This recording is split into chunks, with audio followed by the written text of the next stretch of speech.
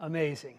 So if you're a parent of a gamer, odds are you've told your kid to get off the game once, twice, or maybe a half dozen times.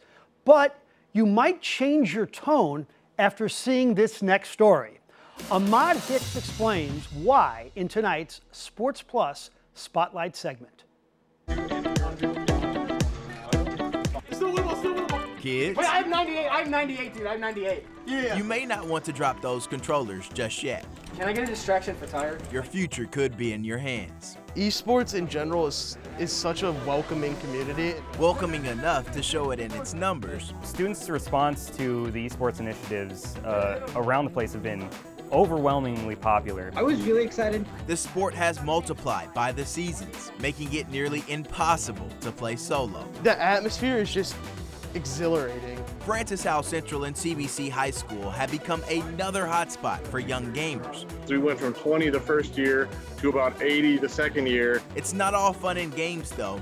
Esports has given students the opportunity to play competitively, challenging their minds and taking them to the next level. You can make the game so strategic, and it's about the teamwork that you have to put into succeed because it's not all about one player. It's not about how good you are. It's how good you are as a team. For senior Tyler Belina, esports provides kids who don't play traditional sports a chance to compete as a unit with the same goal as other teams win state, which is what Francis Howell Central did in a popular video game called Overwatch.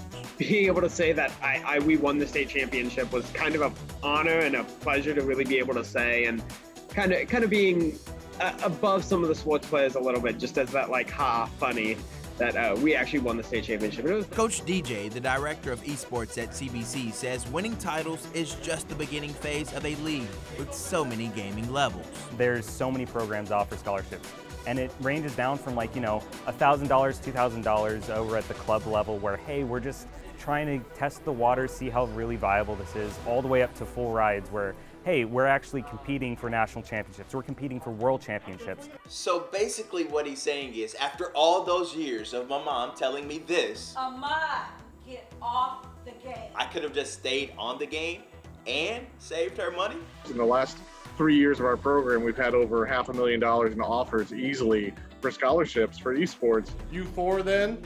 Francis Howell Central's esports sponsor at night and guidance counselor by day, Kris Miller, says perhaps the biggest benefit to esports is the face-to-face interaction solo gamers often avoid. Before, you were able to go back and, and then just unplug and just say, okay, that person made me angry. I'm never going to talk to them again.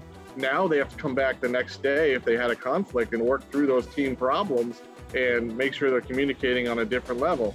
Although on two different teams, Jake Cole and Ryan Caudillo agree esports has given them another outlet to be themselves and to reach new heights. I can be a lot more personable with people. It's taught me to be a leader because I never wanted to lead.